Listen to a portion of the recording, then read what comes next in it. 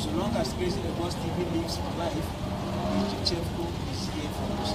And in case you couldn't get some clue about his explanation or about his venturing into the disc jockey journey, um, DJ Chefko started by following a protege who is also a protege of DJ Exclusive. And I believe that every one of us knows the hallmark or the motto of DJ Exclusive life is football. And and I'm very sure that you heard him when he just gave his own motto or a hallmark by saying pimp your swag.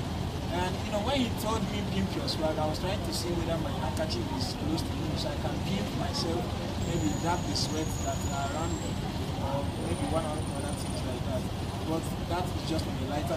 DJ Chefko has come a long way, playing with Troy for six good years back to back, and I'm very sure that there are so many people that have latched upon him in trying to steal him away from restaurant, and I'm sure that he.